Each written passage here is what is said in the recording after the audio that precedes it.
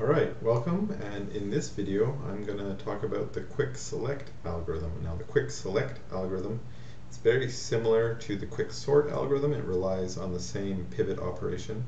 Um, but the algorithm is being posed to serve a different purpose. Quick sort, of course, is meant to sort and sort a list.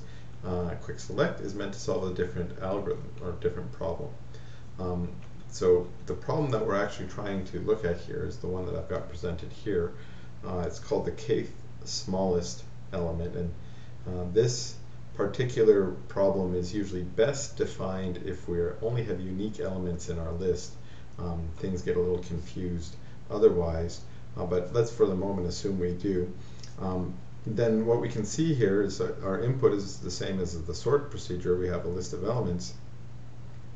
Uh, but here we want to uh, select out the element where a sub i, where a sub i is greater than or equal to exactly uh, k different values of j.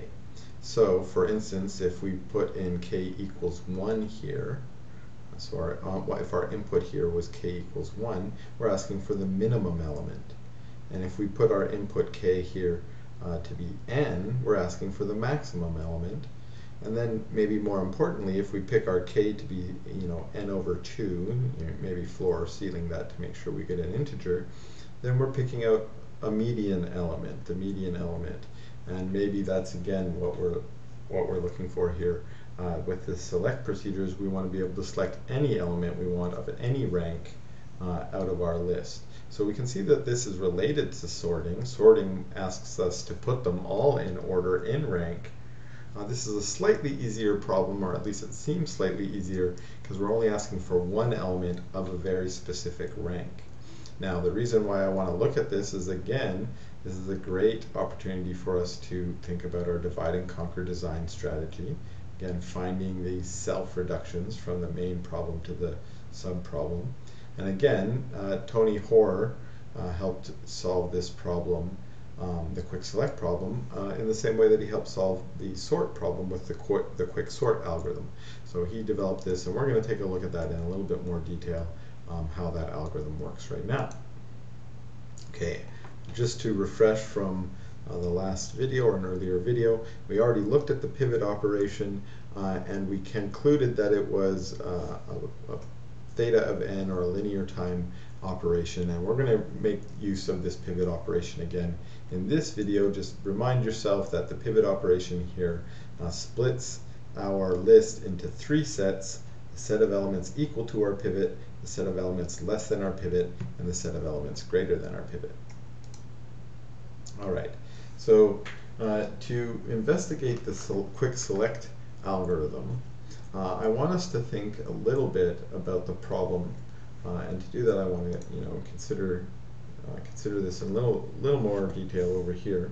Uh, to start out, I'm going to need something to uh, refer to the output of my quick select problem. Now I'm going to use e as my function this time, e uh, uh, e for select to not confuse it with s for sort that I used in the previous video. Now in this case, what I'm going to get is I'm going to get a list that I'm trying to select an element out of and I'm going to get a uh, element k. This is an integer telling me the rank of the element that I want to select out. Now, we're going to recursively define this and we're going to want to think of, again, we're thinking recursively, we're thinking as a self-reduction, and since we're thinking recursively, we want to start by thinking of a terminating case or a simple case. And for me, that usually is a couple cases. Actually, we could say here, um, uh, we're thinking about the size of A, which we sometimes are calling N, but I haven't indicated that yet. But let's say, what are we going to do? What are some easy cases for the size of A?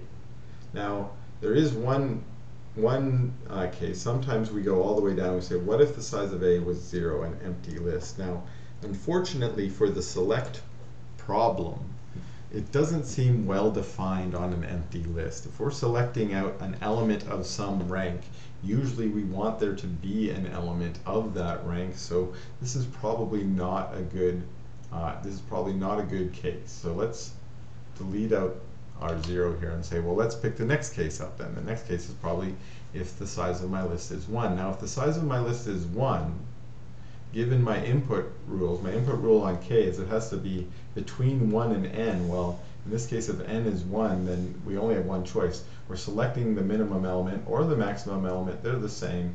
So let's just return that element. There's only one element in this list. It's probably, it has to be the element you're asking for.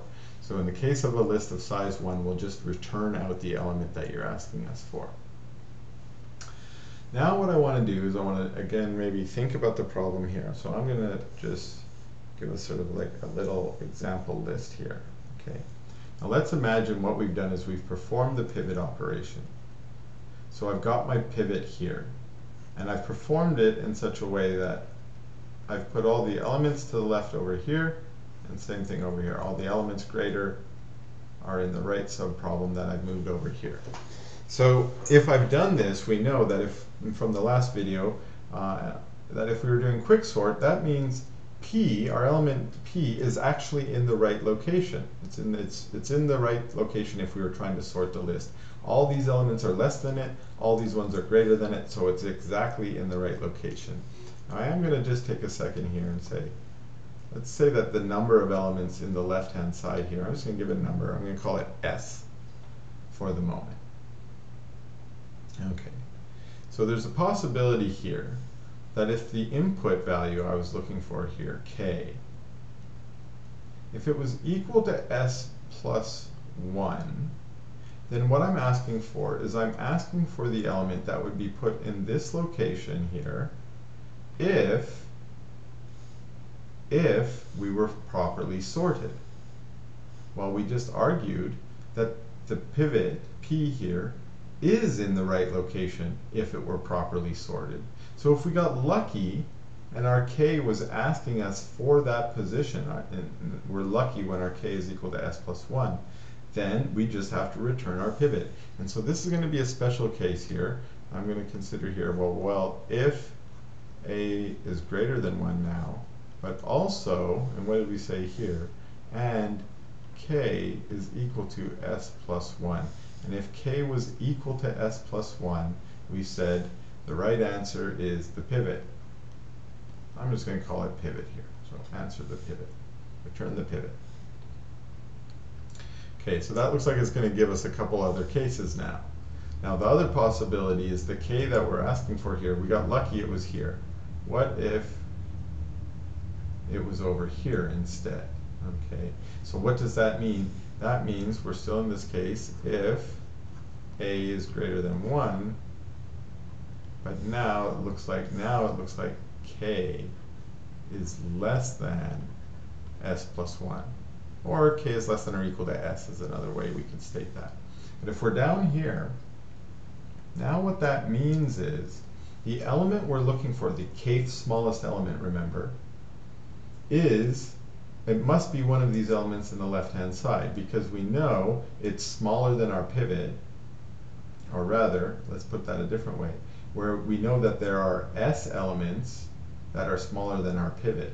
So the element we're looking for could not possibly be the pivot because uh, there's too many elements that are smaller than it. Okay, so the one we are looking for must be one of these elements that is smaller than it. And if we were looking for it, it would still be the kth smallest in this list. So again, let's let's put a value to k just to make it a little easier to talk about. Let's say our k was 3. So in the entire list, what we were looking for was the third smallest. And maybe our pivot here, our pivot ends up in location uh, too high. Maybe it's in position 7. Okay, So we know there are six elements over here that we still need to search for. And we know that the element we're looking for is one of them because those six elements are all less than our pivot. And also we know that the element we're looking for, since we were looking for the third smallest in the whole set, it must be the third smallest in this set. So we can actually go ahead and do a recursive call here, where we're going to do, again, E. We're going to search now, not for the, uh, sorry, not, not the whole list anymore, but we're only going to search this list. Which list? The left list. And we said we're going to search it for still searching for the kth smallest. Okay, that's actually our easier case. Um, let's say that wasn't the case. Let's say, oh no, our k is in the right hand side. So that's our last case. Let's see if we can figure out what that one's going to be equal to as well. Uh, so greater than 1, and what do we say here? k is uh, now greater uh, than s plus 1. Three possible cases, equal, less than, greater. That's how we know we're exhaustive. We've covered all of our cases. Now our guess here is we're probably going to have to search these guys, the elements on the right hand side, right? We're going to try and search them for some element. But now here's the problem, is once, well, when, we, when we've discarded these elements here to, to only focus on the right hand side, we've discarded a bunch of elements that were less than or equal to the element we're looking for, which means we've changed the rank. Where it used to be the kth smallest in the whole group, the whole set, by discarding these ones that are smaller than it, it's no longer that kth smallest. It's gotten smaller. Its rank has gone down. How much has it gone down? Well, we discarded s plus 1 elements that are smaller than it. So if it was in rank k before, will be in rank k minus s minus 1. So again, we're going to look for the element in this right-hand subgroup that is in rank k minus s minus 1 because that element would be in rank k minus s minus 1 plus s plus 1, canceling those out, in rank k in the original list. And that was the one we were looking for. So again, our quick select algorithm operates here. Again, still doing that pivot operation, but then realizing the element we're looking for will only be in one subproblem or the other. And for that reason, this gives us kind of a binary search like feel, at least in the sense that, uh, oops, at least in the sense that we're only going to do one recursive call or the other instead of doing both of them. Okay, in the quick sort algorithm, we do both of these, right? But in the quick select, these are two distinct cases, so we're going to end up doing one of them or the other. Now, because of that, um, we're going to maybe get a different runtime coming out of our quick select algorithm than we might get out of our quick sort algorithm.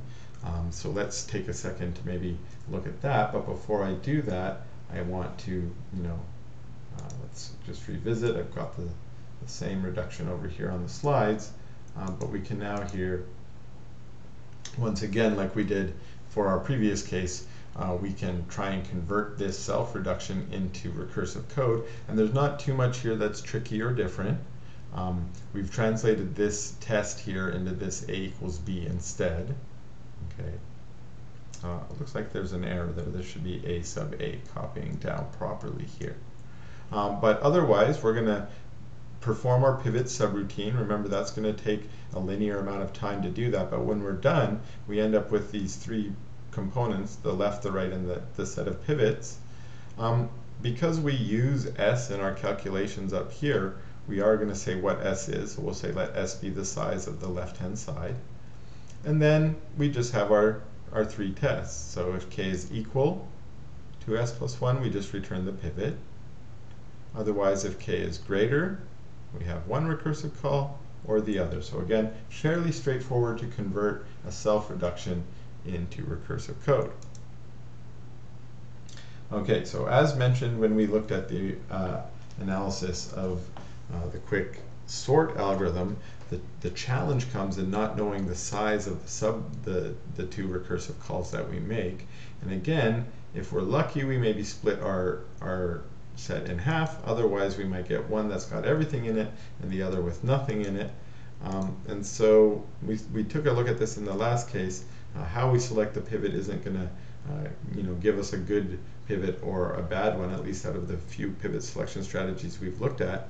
Uh, so let's again see if we can turn our attention maybe to uh, worst case uh, and best case uh, runtimes for this recursive algorithm. Okay, so this algorithm is slightly different than the previous one. So when, when we looked at quicksort, um, we had two possibilities for our runtimes.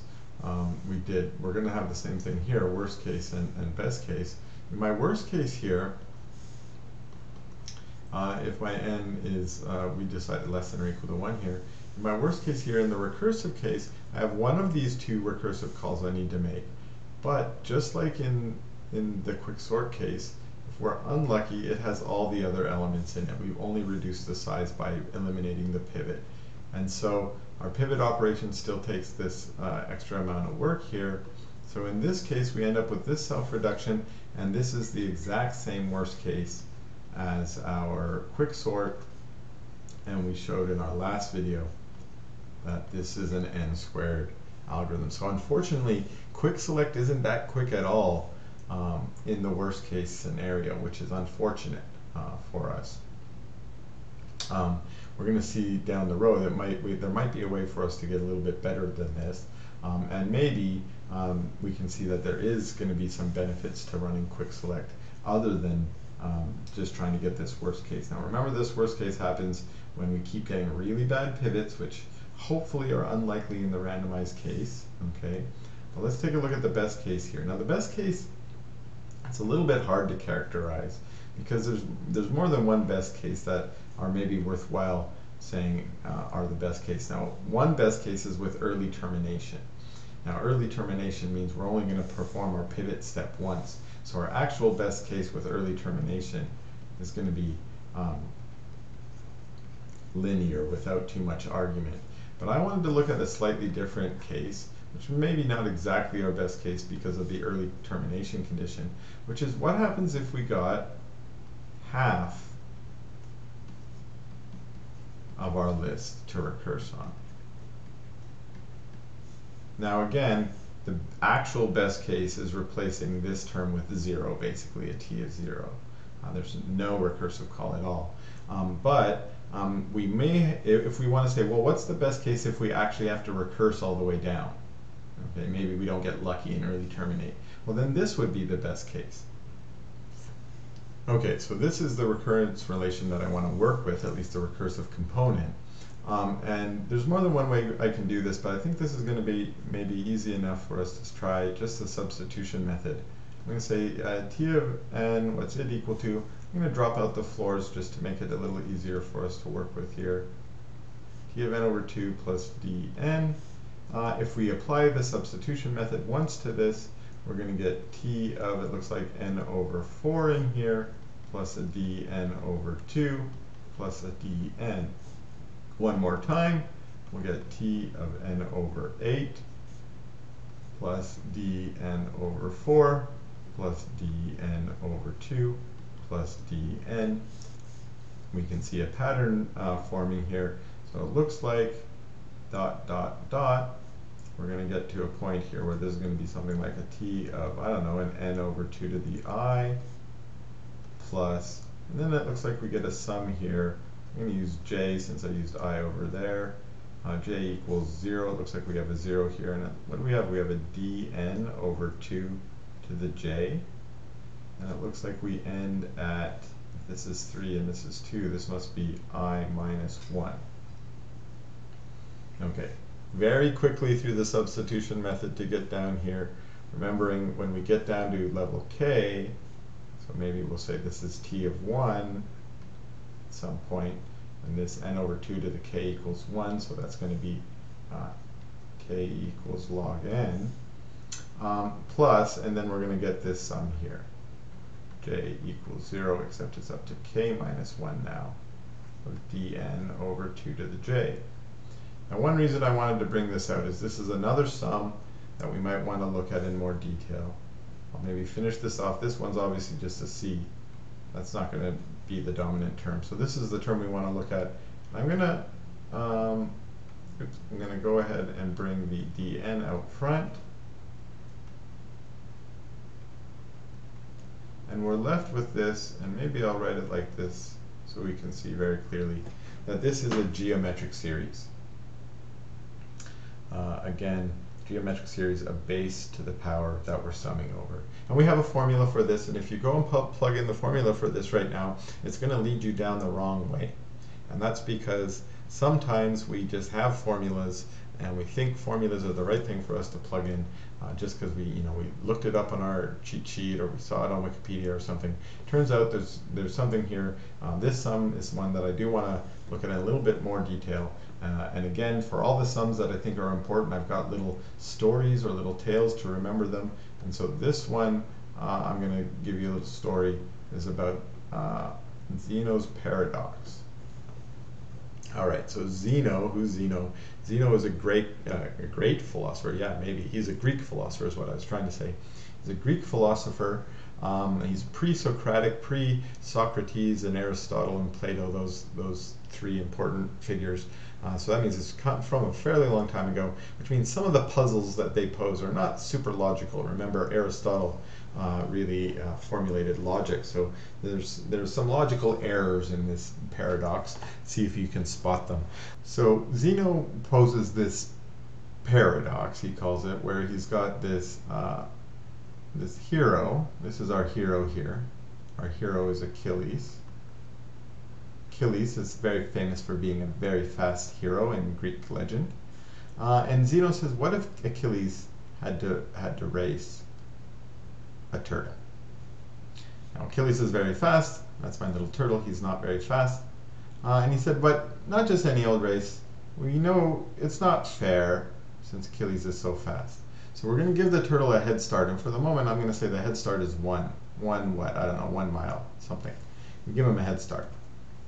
Now, what Zeno is, says, and what his paradox is, he says, uh, no matter how fast Achilles is, he says, Zen Achilles will never be able to catch uh, our turtle. Now, the reason he says, before he gets there to catch the turtle, he has to get halfway to the turtle. And before he gets halfway to the turtle, he has to get halfway to halfway to the turtle. And before he gets halfway to halfway to the turtle, he has to get halfway to halfway to halfway to the turtle, uh, and so on. And, and you can see here, if you follow along with me, you can keep splitting this, oh, and now we're getting to too small to see. You can keep splitting that little chunk that's left there in half again and get something even smaller. Okay, we were talking about math. So how does this help us with math? Well, if we look at this, this what he's done here, is what we've got here is we've got this is uh, one half. Um, this is one quarter then, and this would be one eighth, and this would be one sixteenth. And the whole length of this whole line is equal to the sum of all these pieces. How many pieces? All the pieces. So he's saying here, it's a slightly different sum. I'm going to write it. So he's not saying this. Zeno's not saying this. Zeno's wrong, by the way, right? Can Achilles can Achilles catch the turtle? Of course, he can just take one big step maybe and jump over them. So that, that's the logical fallacy in this. Uh, Zeno doesn't have a great argument here. But what he helps us see with this proof is that if we take this one half and we raise it and we start at one, we get one half and we add one quarter and we add one eighth and we one, add one sixteenth and we add this all the way up to infinity the whole thing just adds up to 1.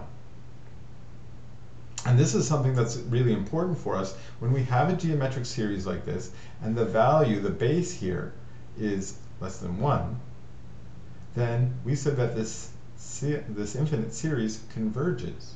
The whole thing is less than a constant, which means here I can go ahead and do this. Now, I, I have to be careful here. This one started at 0, not at 1. So actually I'm going to do a couple steps at once here. C plus dn sum j equals 0 to infinity. I've just, I said k minus 1 is less than infinity, right? 1 over 2 to the j. Now, this, I know this one actually has a, it's not 1, because I started at 1 here, this one's 1, I have to add on the first one I have here, which is 1 half to the power of 0, which is 1. So the whole thing then must be equal to uh, 2. So this whole thing must be equal to 2, so we get z, or sorry, c plus 2dn. So it looks like we've got n. All right, where did that come from? What was the point of that? Well, the point of that was doing uh, our recursive analysis on the best case uh, for our quick select. if we were able to, uh, if we were, uh, if we had to recurse all the way down. That's what this one showed here.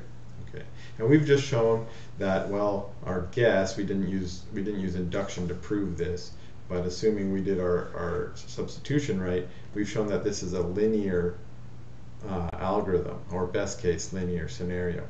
Okay, now actually, uh, the reason I want to to bring this up, let's look at this in a little more detail. Um, so what we've just done here for our quick select is we said worst case is uh, n squared, but best case is n. Okay, let's think of a couple things that it does. So quick select allows us to pick out uh, the min or the max, and we actually already have an algorithm that allows us to pick the min or the max, and that algorithm is linear in both the worst case and the, and the best case. However, we also, this also would allow us to select the median element. And the median element, we don't really know a quick way to do that in order n. Now let's see why this is. So if we want to find the minimum element of our list, okay, uh, usually what we do is we do one pass over it, and we find that minimum element. Okay. Now let's say you wanted to find the second min. So we're trying to solve this select problem, right? If you want to find the select second min, you can go through the first time, delete out the first one, and then go through a second time and find it. Now that's going to take two n operations, which still order n. So if you want to find the third min, you're now at 3n, still order n. So finding the min, finding the max, and even finding the ones close by seem to be okay, they're order n. But it gets troublesome when we want the medium, the median, sorry, because it's the n over second min, which would, if we just use the same math, would give us n over 2 times n, well, n squared. Well, that's what that worst case for our quick select is coming in from. Is if we just try and do pass by pass by pass by pass, we're probably going to end up with n squared. Now we're still sort of question marks over here, and I'm going to leave that uh, for a later discussion where the there is a better case if we can come up with a better way to select our pivot. And I'm going to show you in a later video uh, a sort of clever way to select our pivots to make sure we always get good pivots. And if we can always get good pivots, then we stay down here in this best case, which is where we want to be. All right, so this ends my discussion of the quick select algorithm. Um, but I do want to uh, complete this series of videos with two more discussions. One which is an average case analysis of quick sort, and then we'll finish off with, as I mentioned just now, uh, a clever way to select our pivot so we always get a good pivot all the way down. Uh, all right, uh, thanks for watching, and we'll see you in the next video.